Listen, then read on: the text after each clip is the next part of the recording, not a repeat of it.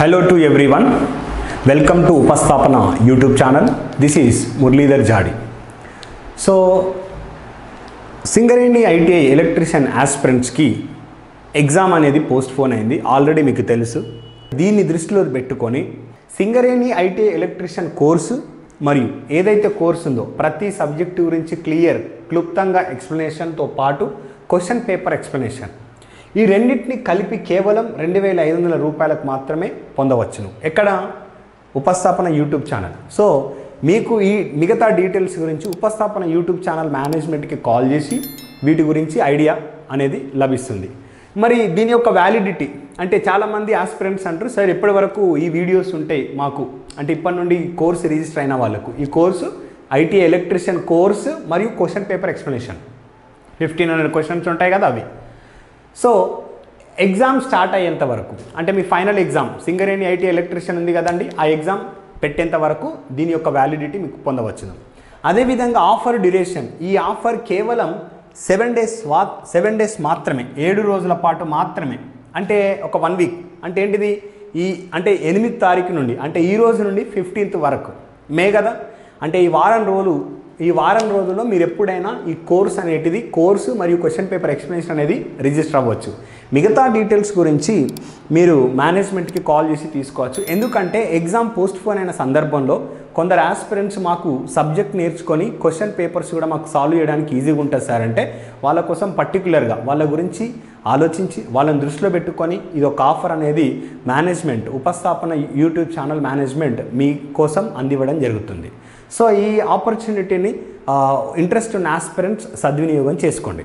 మరి అదేవిధంగా ఆంధ్రప్రదేశ్లో సిపిడిసిఎల్ నోటిఫికేషన్ గురించి కూడా మనకు తెలిసిందే న్యూస్.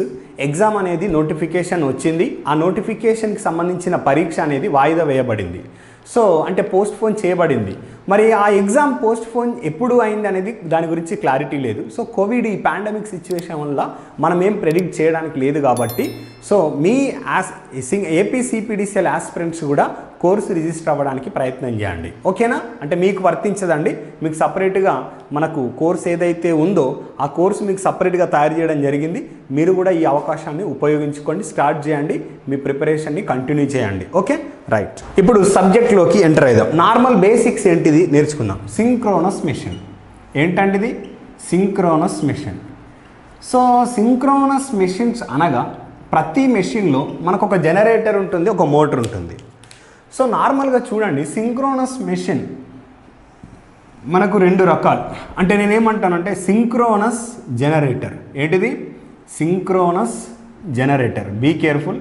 Synchronous generator. ఓకేనా? ఇంకొకటి ఏంటిది? Synchronous motor. Be careful. Synchronous motor. So ఈ ఇప్పుడు చూడండి.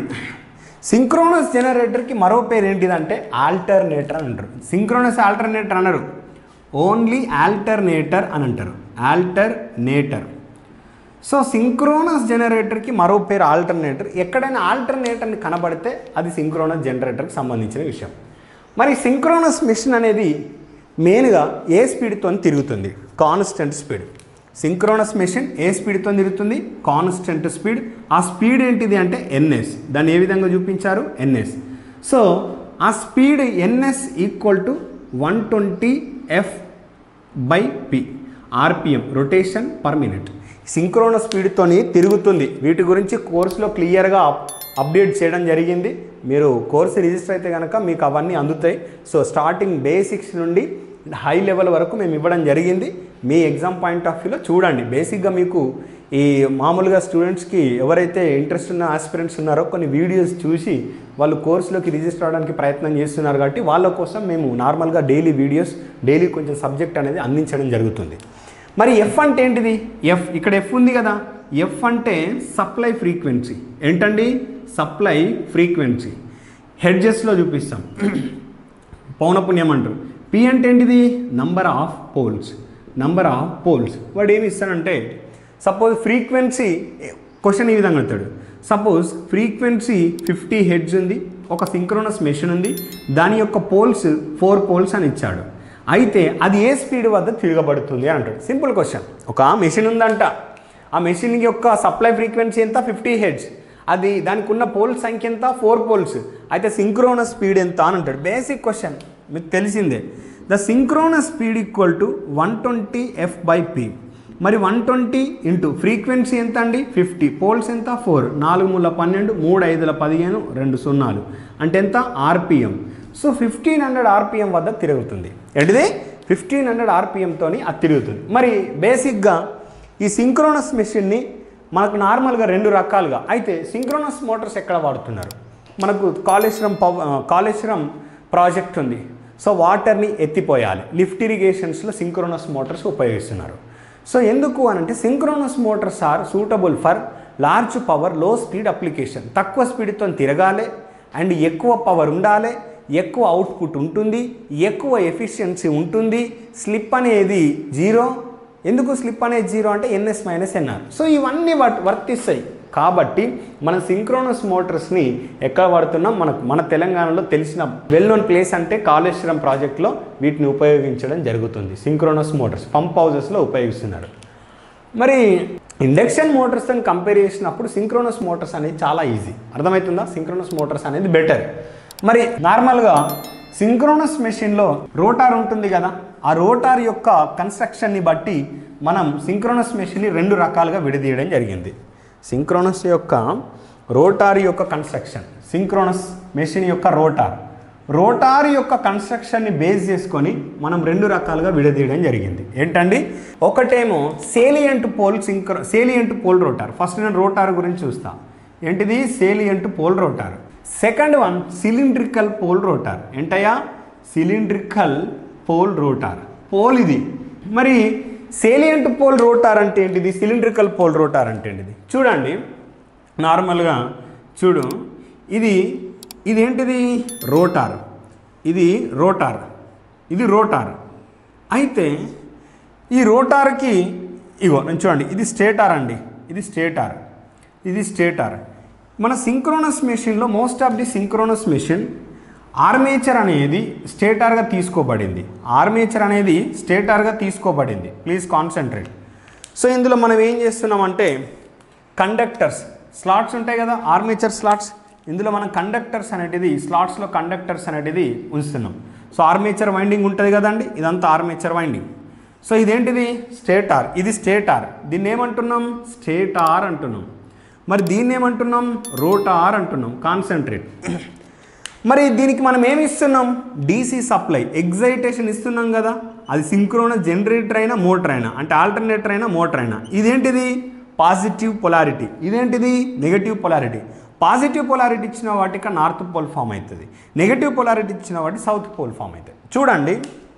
స్టేటార్కి రోటార్కి ఇది స్టేటార్ ఇది రోటార్ స్టేటార్ని మనం ఏ విధంగా తీసుకున్న? స్టేటార్లో ఆర్మేచర్ ఏంటిది? ఆర్మేచర్ కాయిల్స్ ఆర్మేచర్ రోటార్ అంటే ఏంటిది? ఫీల్డ్. Field concentrate. అంటే ఎట్లయినా వైస్ వర్స ఉల్టా అయినా తీసుకోవచ్చు ప్రాబ్లం లేదు. ఎందుకు ఇలాగే తీసుకున్నారనేది నేను తర్వాత చెప్తాను. ఒకసారి వినండి. సో సింక్రోనస్ మెషిన్లో ఫీల్డ్ అనేది రోటార్ పైన తీసుకోవడం జరిగింది. సింక్రోనస్ మెషిన్లో ఆర్మేచర్ అనేది స్టేటార్ పైన తీసుకోబడింది. స్టేటార్ అనేది తిరగబ అంటే తిరగదు. కాన్స్టెంట్గా ఉంటుంది. స్టేటార్ బాడీ తిరగదు. కానీ రోటార్ బాడీ తిరుగుతుంది. జనరేటర్లో క్లాక్ వై దిశలో తిరుగుతుంది మోటార్లో యాంటీ క్లాక్ వై దిశలో తిరుగుతుంది. అయితే నువ్వు ఎగ్జైటేషన్ ఇస్తున్నావు. ఇదేంటిది? ఎగ్జైటేషన్ అడుగుతాడు సింక్రోనస్ మెషిన్లో ఇచ్చే ఎగ్జైటేషన్ మెషిన్ యొక్క కరెంట్ ఏంటిది? ఏసీ కరెంటా DC కరెంటా? First question DC current. ఓకేనా? ఎగ్జైటేషన్ అది సిలిండ్రికల్ పోల్ అయినా నాన్ సిలిండ్రికల్ అయినా. ఐ మీన్ సిలిండ్రికల్ అయినా సేలియంట్ పోల్ అయినా. ఎగ్జైటేషన్ ఫీల్డ్కి ఇచ్చే ఎగ్జైటేషన్ ఏంటిది? Single phase DC supply. DC supply ఓకేనా దీనికి ఏమి ఇస్తున్నావు? మోటార్ అయితే ఏసీ సప్లై ఇస్తున్నావు జనరేటర్ అయితే దీని నుండి తీసుకుంటున్నావు ఓకే? మరి చూడండి ఇది స్టేటార్కి రోటార్కి ఎయిర్ గ్యాప్ అనేది ఉంది. మరి ఎయిర్ గ్యాప్ అనేది ఉన్నప్పుడు ఇదేంటిది? పోల్ కదా ఇది. పోలు ద్వారా ఉన్న యాక్సిస్ని మనం ఏమంటున్నామంటే డైరెక్ట్ యాక్సిస్ అంటున్నాం. ఏంటిది? D axis or direct axis అంటున్నాం. అంటే ఇది పోలార్ రీజియన్ కాదు కదా ఇంటర్ పోలార్ రీజియన్. అంటే పోల్స్ లేవు కాబట్టి దీన్ని క్వాడ్రేచర్ యాక్సిస్ అని అంటున్నాం. ఏంటిది ఒక యాక్సిస్గా వై యాక్సిస్ ఎక్స్ యాక్సిస్ మనం ఏ విధంగా డిసైడ్ చేస్తున్నామో ఇక్కడ కూడా డి యాక్సిస్ అండ్ క్యూ యాక్సిస్గా మనం డిసైడ్ చేయడం జరిగింది. సో అలాంగ్ పోల్ అంటే పోల్ ద్వారా ఉన్న యాక్సిస్ని నువ్వే అంటున్నావు డి యాక్సిస్. సో పోల్ కాకుండా ఈ విధంగా ఉన్న యాక్సిస్ నువ్వే అంటున్నావు Q axis. So direct axis and quadrature axis. ఒకసారి చూడు. ఇదేంటయ్యా స్టేటార్? ఇదేంటయ్యా? రోటార్. మరి స్టేటార్కి ఇక్కడ ఎయిర్ గ్యాప్ ఎంత ఉంది ఎంత ఉంది తక్కువ ఉంది. ఇక్కడ ఎంత ఉంది తక్కువ ఉంది.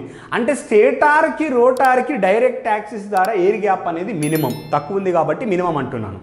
మరి స్టేటార్కి రోటార్కి ఎయిర్ గ్యాప్ అనేది క్యూ యాక్సిస్ ద్వారా ఎయిర్ గ్యాప్ అనేది ఎక్కువ ఉంది. ఎస్ఆర్నో ఎయిర్ గ్యాప్ అనేది ఎక్కువగా ఉంది. సో దీన్ని ఏమంటున్నావు? Maximum air gap along the quadrature axis. Q axis ద్వారా ఎయిర్ గ్యాప్ అనేది మ్యాక్సిమం ఉంది. అండ్ డియాక్సిస్ ద్వారా ఎయిర్ గ్యాప్ అనేది మినిమం ఉంది. సో ఒక దగ్గర తక్కువ ఒక దగ్గర ఎక్కువ ఉంటే air air gap uniform air gap అనేది సమానంగా ఉందా? Throughout the stator and rotor? లేదు. మరి సమానంగా లేదు కాబట్టి దీన్ని ఏమంటున్నా? అసమానత్వాన్ని పాటిస్తుంది కాబట్టి non non uniform air gap అంటున్నాం. ఏంటిది? నాన్ యూనిఫామ్ ఎయిర్ గ్యాప్ అనేది ఏ రకానికి చెందిన రోటార్లో ఉంటుంది? ఏ రకానికి చెందిన మెషిన్లో ఉంటుంది? సేలియంట్ పోల్ మెషిన్లో ఉంటుందా? నాన్ సిలిండ్రికల్ పోల్లో ఉంటుందా అని అంటాడు. సేలియంట్ పోల్ ఎందుకు?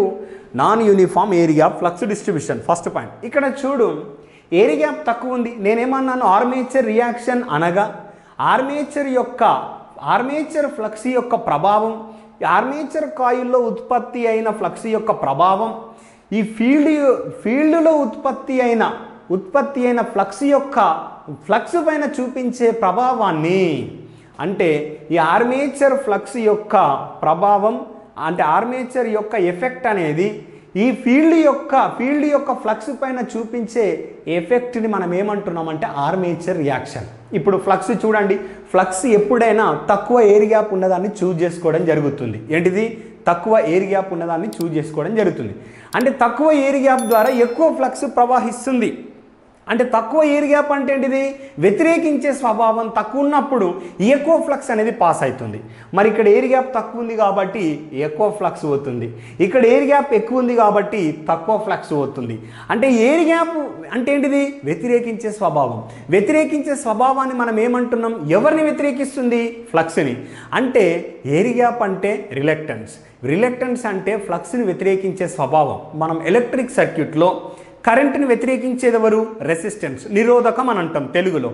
అదేవిధంగా ఫ్లక్స్ను కూడా మ్యాగ్నెటిక్ సర్క్యూట్లో ఫ్లక్స్ను కూడా వ్యతిరేకించేవారు ఎవరు అని అంటే రిలెక్టెన్స్. అంటే ఈ రిలెక్టెన్స్ దేని వల్ల వస్తుందంటే ఏరియా. అంటే ఎంత ఏరియా పెరిగితే అంత వ్యతిరేకించే స్వభావం పెరుగుతుంది. ఎంత వ్యతిరేకించే స్వభావం పెరిగితే అంత రిలెక్టెన్స్ పెరుగుతుంది. ఎంత రిలెక్టెన్స్ పెరిగితే అంత ఫ్లక్స్ తగ్గుతుందన్నమాట. అంటే వ్యతిరేకించే స్వభావం తక్కువ ఉంది వ్యతిరేకించే స్వభావం ఎక్కువ ఉంది. అంటే ఇక్కడ ఫ్లక్స్ని వ్యతిరేకించే స్వభావం తక్కువ ఉంది కాబట్టి రిలెక్టెన్స్ తక్కువ ఉంది. ఇక్కడ ఫ్లక్స్ని వ్యతిరేకించే స్వభావం ఎక్కువ ఉంది కాబట్టి రిలెక్టెన్స్ అనేది ఎక్కువ ఉంది. అంటే ఇక్కడ రిలెక్టెన్స్ తక్కువ ఉందంటే armature reaction along direct axis ఎక్కువ ఉన్నట్టే కదా. ఎస్ఆర్నో. అంటే ఆర్మేచర్ రియాక్షన్ ఇక్కడ ఎక్కువ ఉందా లేదా? మరి ఇక్కడ వ్యతిరేకించే స్వభావం క్యూ యాక్సిస్ ద్వారా ఎక్కువ ఉంది అని అంటే మరి ఆర్మేచర్ రియాక్షన్ తక్కువ ఉందా లేదా? Yes or no. Is it clear or not so ఈ విధంగా మనం సబ్జెక్ట్ని చదవాలి. ఓకే మరి అదేవిధంగా మనం సిలిండ్రికల్ పోల్ తీసుకుంటే సో సిలిండ్రికల్ పోల్ రోటార్ ఇది అనుకుందాం.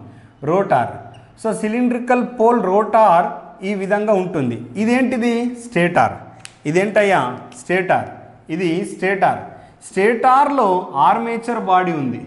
ఇదేంటిది? ఫీల్డ్ ఇది. ఇది ఫీల్డ్. సో నువ్వు డైరెక్ట్ యాక్సిస్ తీసుకో క్వాడ్రేచర్ యాక్సిస్ తీసుకో. ఇది క్యూ యాక్సిస్. ఇది direct axis. D direct axis ద్వారా అయినా ఎయిర్ గ్యాప్ అనేది సమానంగా ఉంటుంది. క్వాడ్రేచర్ యాక్సిస్ ద్వారా అయినా ఎయిర్ గ్యాప్ అనేది సమానంగా ఉంటుంది.